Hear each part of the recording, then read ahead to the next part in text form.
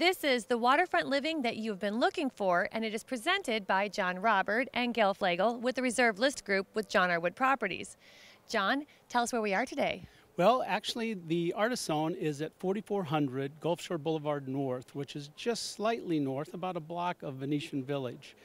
Um, the Artisan is a complex of six different buildings, 33 different units, and 16 boat slips, all with private elevator entrance, two deeded parking spots per unit, and deeded beach access across the way. The uh, unit that we're going to be looking at today is in Building 3. It's Unit 304.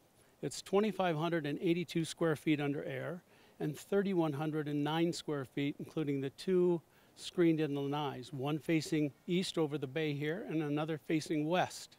Uh, this unit also has two deeded parking spots under the building The condominium doors and windows all have electric hurricane shutters. and a deeded boat slip that will accommodate a 40-foot boat, has running water, electricity, and a small storage job box. Artisan is one of the few complexes as well that is pet friendly. And Gail, give us some details about the Reserve List Group. Well, John and I work together um, as part of John R. Wood, and we offer a lot of services to both the buyers and sellers within the community.